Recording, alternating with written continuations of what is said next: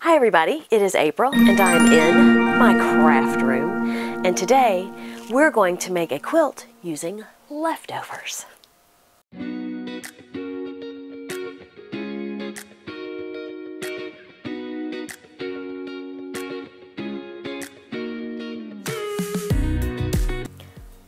Hopefully you joined me when I made my pinwheel quilt with a twist and if you did not I will link that to the end of this video and the reason that I am referencing that quilt is because I am using leftovers from that quilt in order to make this quilt.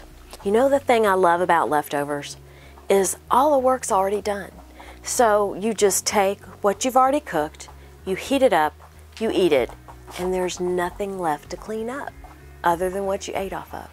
You don't have the five pots that you had that you needed to make what you made, or you don't have the spoons and the forks and the knives. A leftover quilt is kind of the same thing. You have fun leftover pieces like these half square triangles that we turned into flying geese that you can use. You don't have to cut them out again, and you don't have to clean up the mess.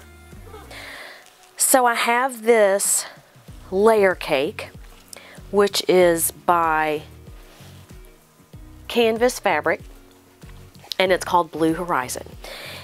It is a beautiful layer cake, but I only used 18 of the 42 squares.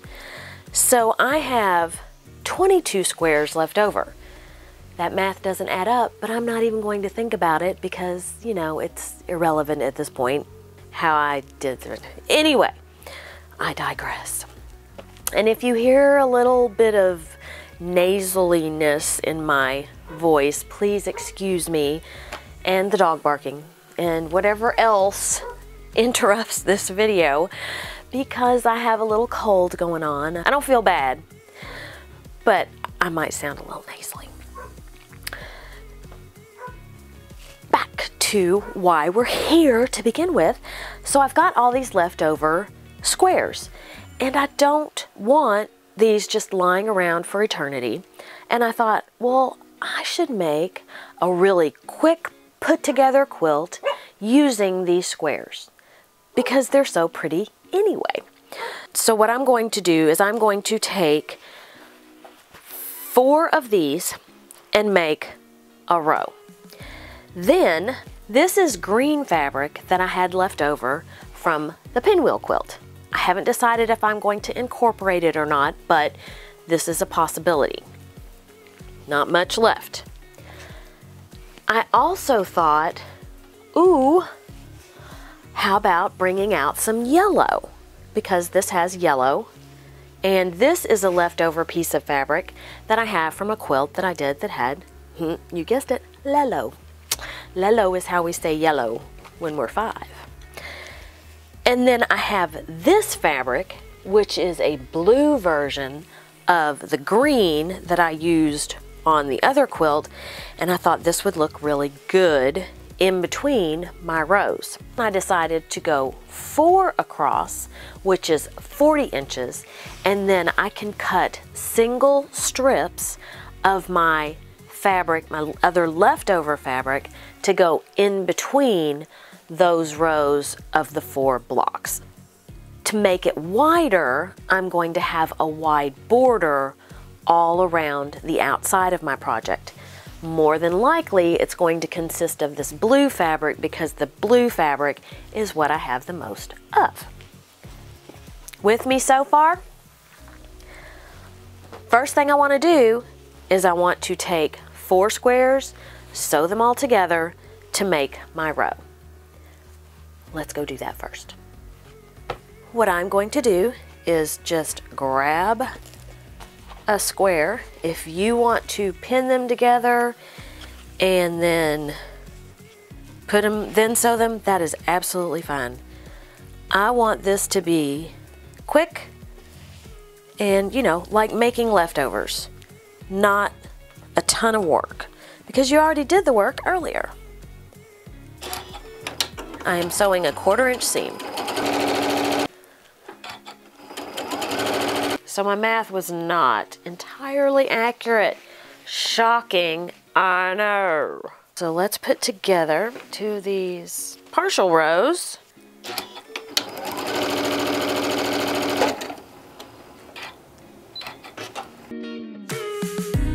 So here we have the five rows. One of the most important leftovers that I forgot to mention were these half square triangle blocks that were left over from the pinwheel quilt. And this is the quilt that I want to use these either as a border or somewhere. I want to incorporate them somewhere. I'm just going to start sewing these together after I trim the dog ears and then we'll see if I have enough to go on either side as the border. I don't, I don't want to make this hard. I have been totally overthinking this quilt. I have taken something that should be very simple and I've made it as complicated as I could. So I am backtracking. What has thrown me is I was so sure on what I wanted to put in between these rows because of what had worked so well with my pinwheel quilt. I have found I don't like it with this quilt. And I think the difference is my pinwheel quilt had a whole lot of white. This doesn't have any white. So when I put the darker green, what did I do with the darker green? Hold please.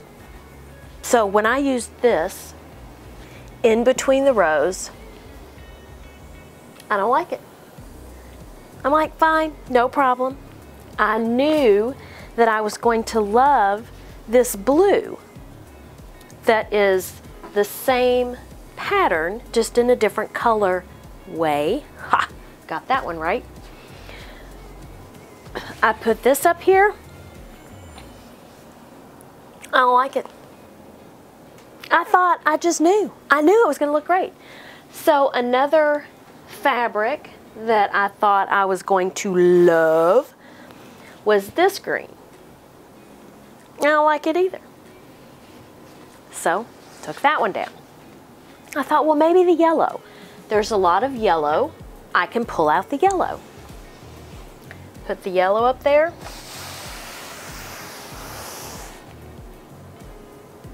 Didn't do anything for me either.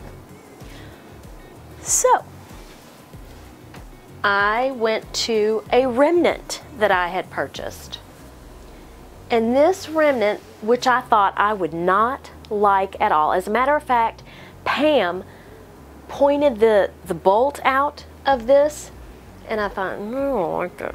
Well, Pam, you were right. This is the one that I like the best. And then this, and let me show you up close. So it's got the light blue, it's got the yellow, and it's got the green. It, it pulls everything together. So I can put this in between my rows. So let me throw this together and let's see how it turns out.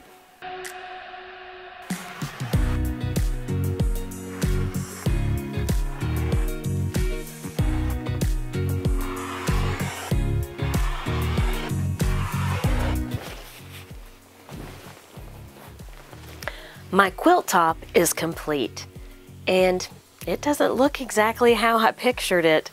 I ended up taking that, what I said was going to be a 10 inch wide border and making it 5 inches. And instead of putting my fake flying geese on the top and the bottom, I decided to put it on the sides of this quilt. I overthought it, but I used all of these flying geese and I used my squares that were left over minus four squares and I figure I can make a throw pillow with that. Have a great day, eat some chocolate, and be kind to everyone. Until next time, bye. M&M's are my favorite. Really? It's over, I will.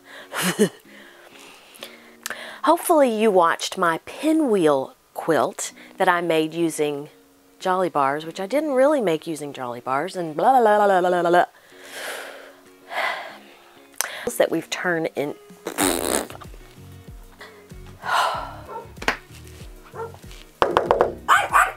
She must want in. She does not need your help. I don't know if you remember. Doesn't matter if you remember. Right on it. oh my gosh. if I use five, let me do over. Ooh, I just had a, a brainstorm.